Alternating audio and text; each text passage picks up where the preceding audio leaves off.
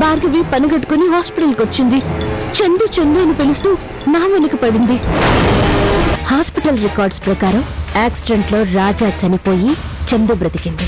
పోలీసుల రికార్డ్స్ ప్రకారం చందు కారుతో పాటు కాలి బూడిదైపోయింది. రాజా బ్రతికాడు. సో ఇద్దరూ ఒకరికి తెలియకుండా ఒకరు బ్రతికారు. ఆ బిడ్డ మరి ఎవరి దగ్గర?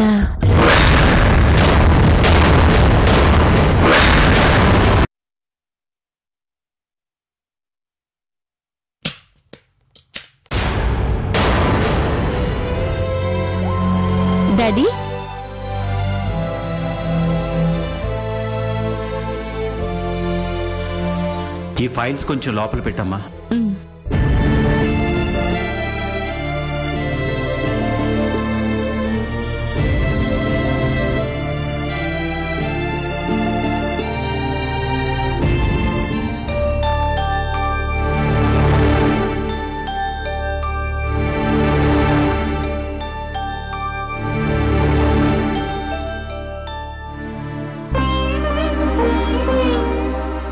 ఏం డాడీ?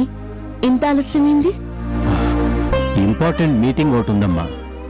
అది పూర్తి చేసుకుని వచ్చేసరికి ఇదిగో ఈ టైం అయింది. భోజనం చేశారా?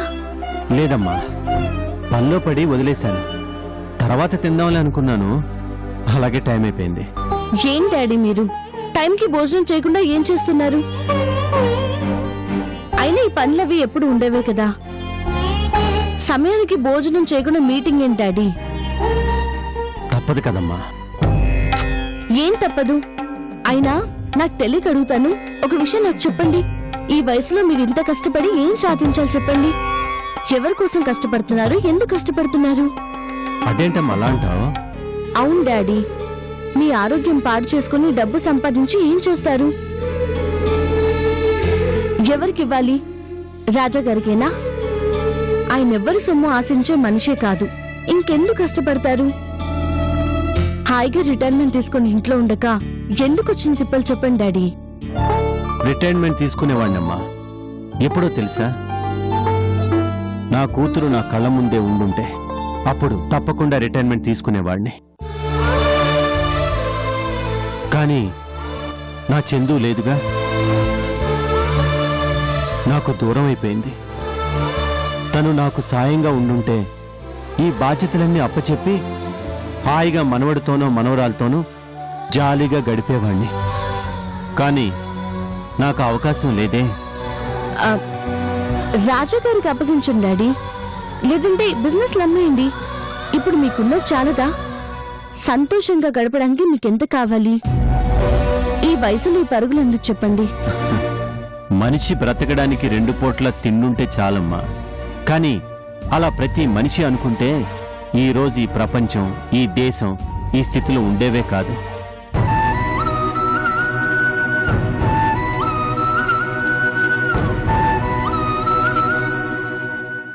అదిగో బయట కనిపించే ఆ చెట్టు కూడా తను బ్రతుకుతూ పది మందికి మంచి గాలినిచ్చి బ్రతికిస్తుంది. అలాంటిది మనం మనుషులుగా పుట్టి మన కడుపు ఒక్కటే నింపుకుంటే సరిపోతుందా? మన చుట్టూ ఉన్న నలుగురికి బ్రతికే అవకాశం ఇవ్వాలి కదమ్మా.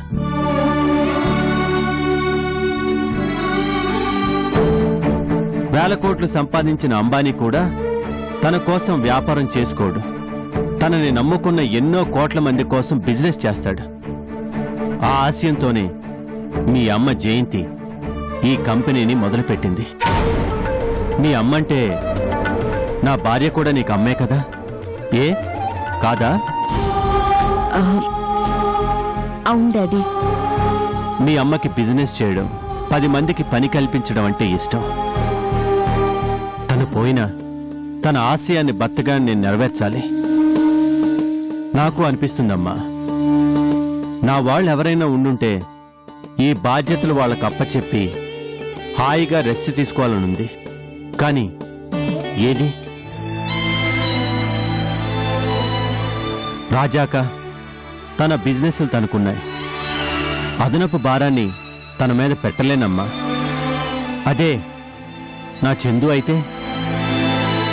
ఖచ్చితంగా నా భారాన్ని తను తీసుకునేదమ్మా.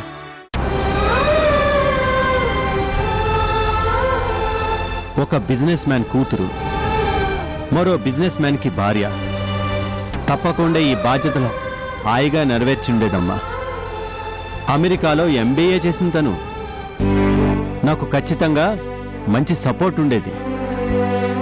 లేని మనిషి గురించి ఎందుకు డాడీ ఆలోచిస్తారు? కరెక్టే. పోనీ నువ్వు ఎలాగో నన్ను డాడీ అని పిలుస్తున్నావు చందు లేని లోటును తీరుస్తున్నావు నువ్వెందుకు ఈ బిజినెస్లన్నీ చూసుకోకూడదు? నేనా? నాకేం తెలుస్తుంది డాడీ? ఇదొక బ్రహ్మ విద్య. పక్కన నేను ఉంటాను కదమ్మా. నేర్పిస్తానులే. దగ్గరుండి నేర్పించే చిలక కూడా మాటలు నేర్చుకుంటుంది. అలాంటిది నువ్వెందుకు నేర్చుకోలేవు? నువ్వు కొంచెం చూసుకున్నావంటే నాకు కాస్త రిలీఫ్గా ఉంటుంది కదమ్మా. క్షమించండి డాడీ నా వల్ల కాదు. ఎందుకమ్మా? ఎందుకంటే నేను ఈ నర్స్ వృత్తిని మానుకోలేను డాడీ. దాంట్లో డబ్బేం వస్తుందమ్మా. ఇది డబ్బు కోసం చేసేది కాదు డాడీ. మనశ్శాంతి కోసం ఆత్మ సంతృప్తి కోసం చేసేది. ఈ నర్సులు ఈ డాక్టర్లే నాకు ఒకప్పుడు ప్రాణం పోశారు డాడీ. ఈ నర్సు వృత్తే నాకు నా బిడ్డకి ఒక కొత్త జీవితాన్ని ఇచ్చింది. ఓ రోగి బాధను పోకొడితే ఆ రోగి కళ్ళలో కనిపించే కృతజ్ఞత ఆనందం నాకు డబ్బులో కనిపించవు డాడీ.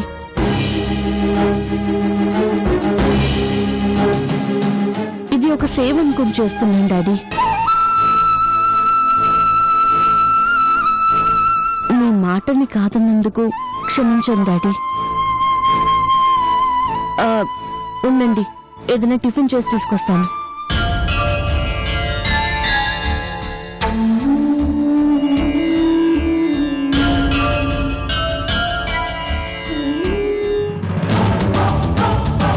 Okay okay.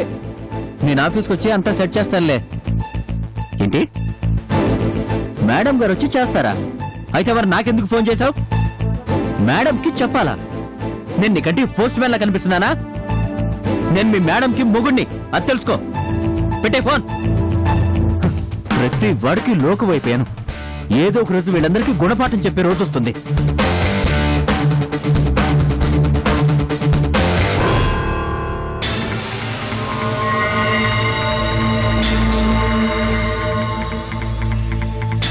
భార్గవి కుర్చీ ఖాళీగా ఉన్నట్టుందే. ఆ సీట్లో కూర్చుంటే నేనే ఇంటికి యజమాని అన్న ఫీలింగ్ అన్న వస్తుంది.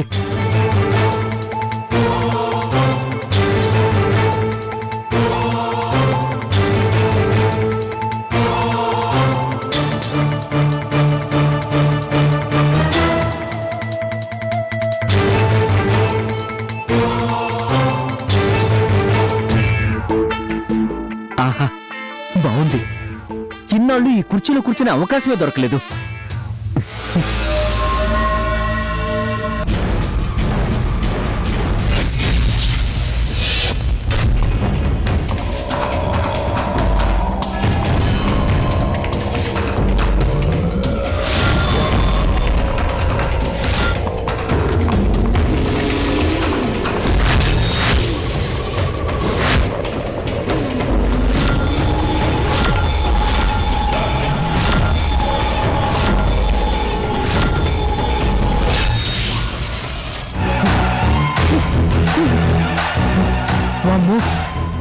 కుర్చీనా కుంపట? ఇందులో కూర్చుంటే ఇంత దారుణమైన ఆలోచనలు వస్తున్నాయి. ఎవరినో చంపాలనిపిస్తుంది. మొగుడు పెళ్ళాన్ని విడదీయాలనే ఆలోచన వస్తుంది. ఎవరిని సంతోషం ఉంచకూడదనే ఆలోచనలు వస్తున్నాయి. అమ్మో భార్గవి కూర్చున్న కుర్చీలోనే ఇంత నెగిటివ్ పవర్ ఉంటే ఇక భార్గవి మనసులో ఇంకెన్ని క్రూరమైన ఆలోచనలు ఉన్నాయో? అమ్మో ఇంకెప్పుడు దీని జోలికి పోకూడదు.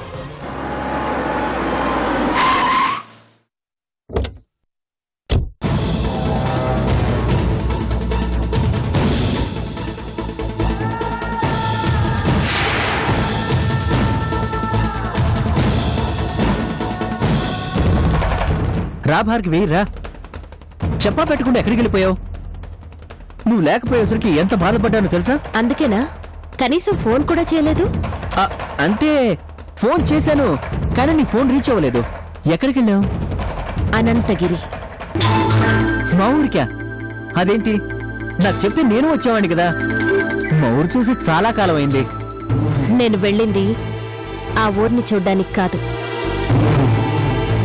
కొన్ని నిజాలు తెలుసుకోవడానికి. నిజాలా?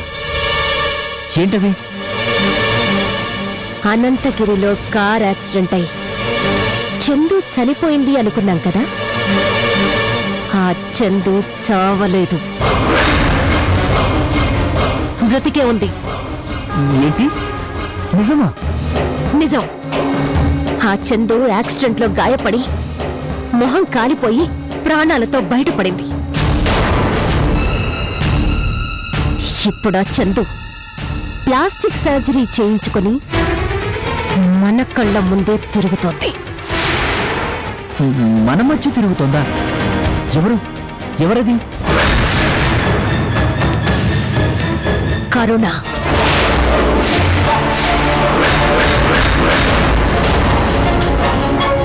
కరుణ? ఎవరు? ఆ నర్సు కరుణ? ఎస్ చందునే కరుణ. ప్లాస్టిక్ సర్జరీ తరువాత మొహం మొత్తం మారిపోయింది.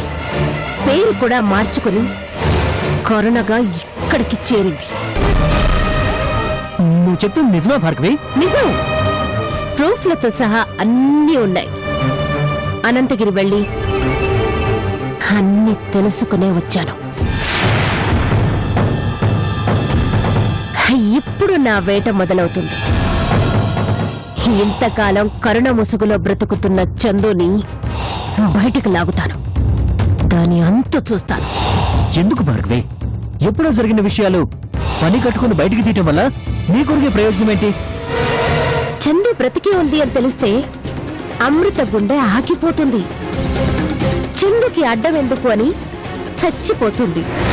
అమృత చావు చూసి చందు కూడా సూసైడ్ చేసుకుంటుంది. ఒకేసారి ఇద్దరూ చచ్చిపోయాక రాజా ఒంటరి వాడైపోతాడు. అదే నాకు కావాలి. పాపం భార్గవి. అప్పుడు లారీతో గుద్దించి చంపాలని చూసావు వాళ్ళ అదృష్టం బాగుండి బతికారు.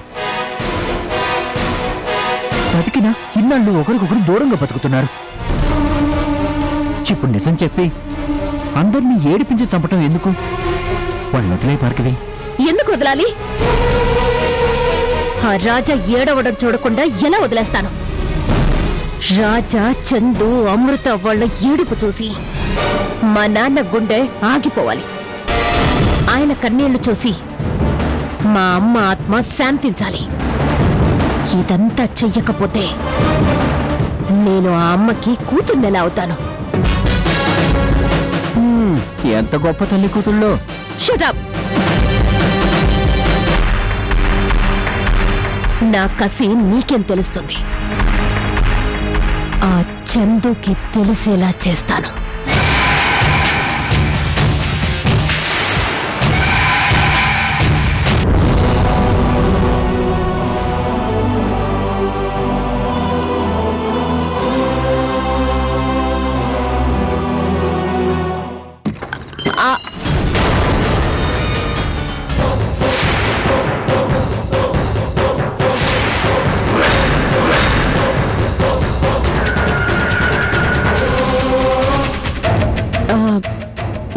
డాక్టర్ రాకరుణ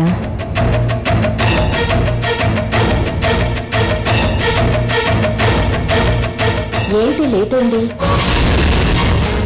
ఇంటి దగ్గర కొంచెం ఆలస్యం ఉంది డాక్టర్. పర్వాలేదులే. ఇదిగో రిపోర్ట్స్ అన్నీ వచ్చేయలేదో ఒకసారి చెక్ చేయి.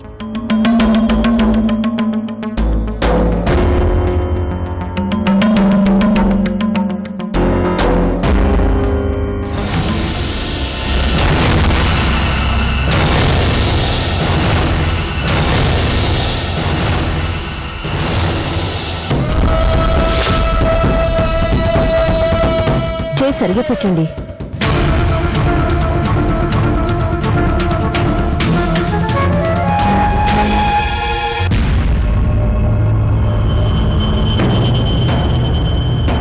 ఏంటి భార్గవి? అందరికీ నిన్ను చూస్తే బీపీ పెరుగుతుంది. అలాంటిది నువ్వు బీపీ చూపించుకుంటున్నావేంటి? కొంచెం ఎక్కువగానే ఉంది. ఉంటుంది డాక్టర్. ఎందుకంటే నాకు ఈ మధ్య కొత్త కొత్త విషయాలు తెలుస్తున్నాయిలేండి. అవి వింటుంటే నా బీపీ విపరీతంగా పెరుగుతోంది వింటే మీకు బీపీ రైజ్ అవుతుంది తెలుసా? అవునా? ఏంటిది? ఈ మధ్య నేను అనంతగిరి వెళ్ళాను.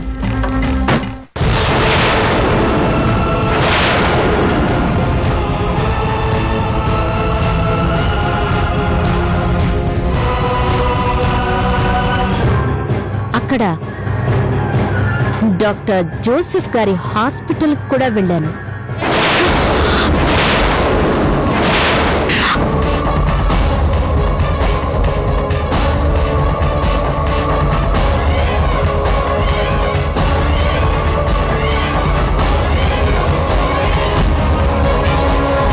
అక్కడ నీకేంటి పని? ఒక నిజం తెలుసుకుందామని వెళ్ళాను. వెళ్ళినందుకు ఆ నిజం తెలుసుకున్నాను.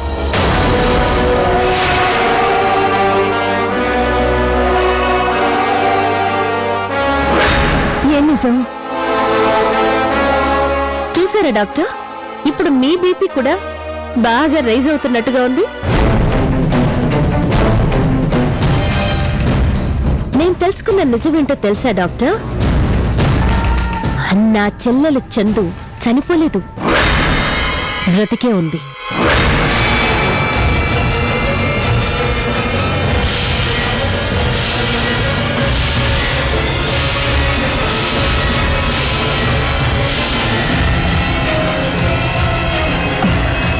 అవునా? మీకెవరు చెప్పారు? బాగా తెలిసిన వాళ్ళే చెప్పారు. అది నిజమా కాదా అని తెలుసుకుందామనే వెళ్ళాను డాక్టర్. నా అనుమానం నిజమైంది. అక్కడ చందు బ్రతికే ఉంది అనే నిజం తెలిసాక నాకు ఎంత ఆనందం వేసిందో తెలుసా?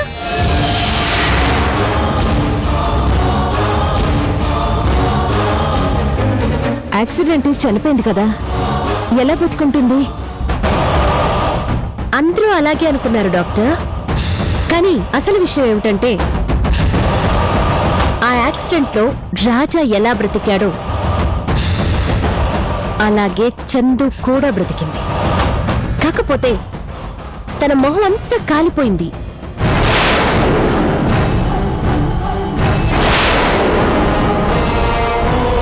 ఆ కాలిపోయిన మొహానికి ప్లాస్టిక్ సర్జరీ చేయించుకొని మరీ వెళ్ళిపోయిందిట.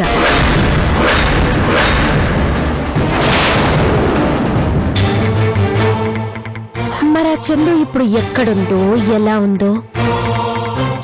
ఏ ఉందో.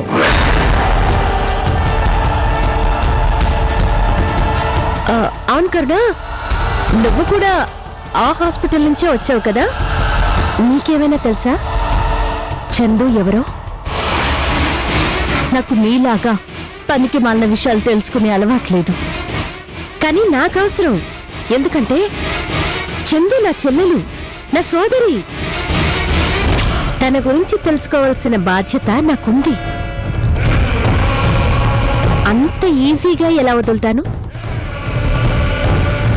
వదిలితే నేను భార్గవిని ఎలా అవుతాను?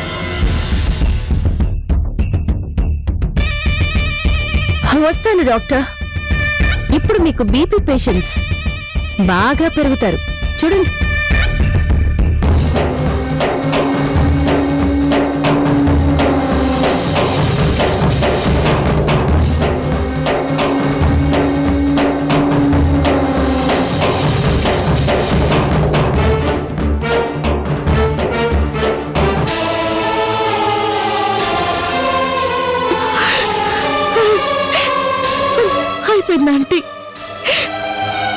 భార్గవికి నిజం తెలిసిపోయింది.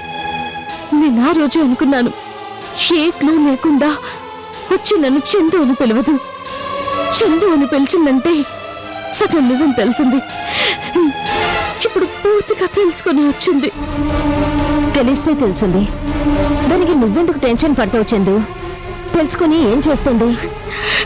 సరాసరి వెళ్ళి అమృత చెప్తుంది. అది జరిగితే అమృత ఏం అవుతుంది. అమృత అమృత అమృత. ఎంతసేపు తన గురించి ఆలోచిస్తావా? నీ గురించి నువ్వు ఆలోచించవా? నీకు ఆ రోజే చెప్పాను నిజాన్ని నిపుణి దాచటం ఎవరి వల్ల కాదు అని. తెలుసుకో నువ్వు కనీసం అప్పుడైనా నీ గొప్పతనం అర్థం అవుతుంది లేదంటే ఈ నిజం అడ్డు పెట్టుకుని భార్గవి మరో మరణ హోమం మొదలు పెడుతుంది. ఏదో ప్లాన్ ఉంది. లేకపోతే సరాసరి మన దగ్గరకొచ్చి తనకు తనకి నిజం తెలిసిపోయిందని నిజం. మనకి తెలిసేలా మాట్లాడదు.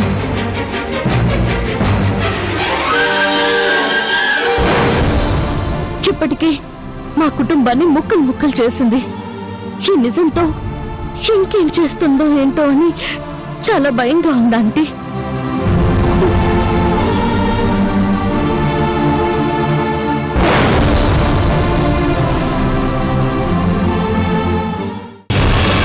చందులా ఉంది అనా? లేక తనే చందు అనా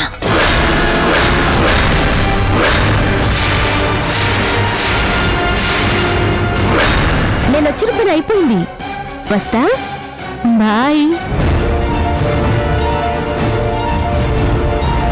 అన్యాయంగా నిన్ను అనరాని మాటలు అన్నాను కనీసం బ్రతికే అర్హత కూడా నాకు లేదు. చచ్చిపోవాలి.